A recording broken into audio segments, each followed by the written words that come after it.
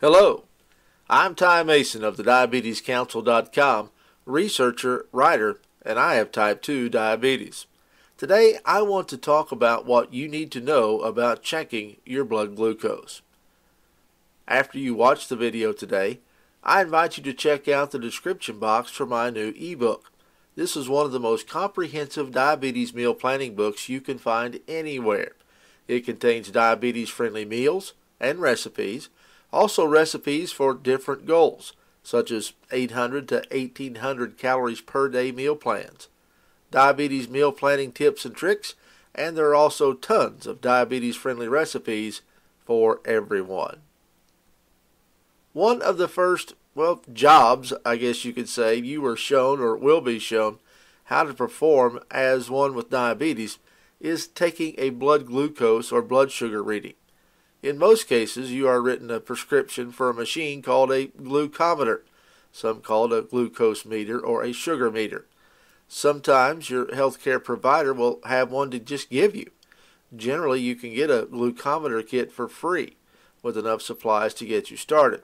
You will then pay for the strips and lancets each month or however often you will need them.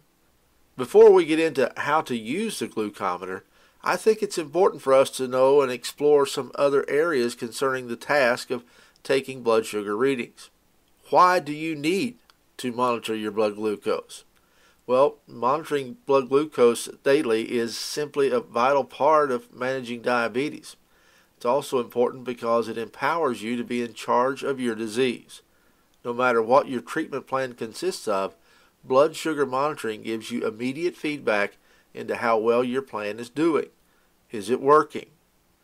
Checking your blood glucose gives you the freedom to make choices without worry, the confidence to learn from your actions, and the motivation to keep striving to do better. That's according to Linda Dale, who's a clinical nurse specialist in the Outpatient Diabetes Education Program at the University of Michigan. She goes on to say, monitoring tells you what you're doing either is working or it isn't and it serves as motivation to keep up actions that are working or to make changes. Now, what do all these numbers mean? Well, knowing what the numbers mean is very important in regards to taking blood glucose readings. If you know everything about getting the numbers but don't know what they mean, you're wasting your time and effort. Knowing if your blood sugar is too high or too low or just right is vital in treating diabetes. You were diagnosed with diabetes because of these numbers. Your fasting blood glucose level was greater than 126 milligrams per deciliter on two separate readings. This is the amount of glucose that was present in your blood after a time of not eating. Normal blood glucose levels are less than 100. Blood glucose readings of 100 to 125 are considered pre-diabetes. Now you are shooting for a fasting blood glucose level of about 80 to 130 before each meal, which is called pre-prandial. A postprandial reading, which is 1 to 2 hours after eating, should be less than 180. If you have a reading of less than 80, well, you're considered hypoglycemic. This means your blood glucose level is getting too low. In this case, you'll need to get some carbs in your system the recommended amount of carbs is 15 grams, and then check your blood sugar again later. If your readings are extremely high, especially before eating, say in the 180 range, well, you may need to take a fast acting insulin to help bring it down. This should be discussed with your doctor and is one of the reasons taking blood sugar readings are so important. Regular monitoring is especially helpful for showing the positive effects of exercise, says Dale say your readings have regularly been around 140, but you start taking a walk every day and you start getting more readings around 120, well, that will definitely boost your motivation. Another question I always ask about checking blood sugar is how often should I do it? Now, I personally am a proponent of taking it before every meal. At least some studies have found that the more often people monitor their blood sugar, the better their A1C levels. Now, the A1C test is a measure of blood sugar control over previous two to three months. You don't do that on your own. Your doctor will do that one for you. The Joslin Diabetes Center says that in a perfect world, people with type 1 diabetes should monitor their blood glucose level six or seven times a day. However, that's often impractical because of time and resources. If a person is newly diagnosed, starting a new treatment, or having trouble with blood glucose control, whether type 1 or type 2, most insurance companies will pay for more strips than usual for the person to monitor more frequently. A person whose type 1 diabetes is in stable control should monitor a minimum of four times a day. Now, for those whose type 2 diabetes is in good control, well, the Joslin Center recommends monitoring twice a day. But they also say the majority of patients with type 2 are not in good control and should check more often. Unfortunately, health insurance companies often cover only one or two test strips per day for people with type 2, which many experts feel isn't really enough to offer useful information. Now, in some cases, insurance companies will cover more strips if a doctor writes a script for more, and some people choose to buy more strips on their own out of pocket. Now, yes, test strips are expensive, but the price has really not gone up in the past 20 years. They cost about a dollar a strip, um, no more expensive than a bottle of water or a cup of coffee. So sometimes you just may need to make a choice right there.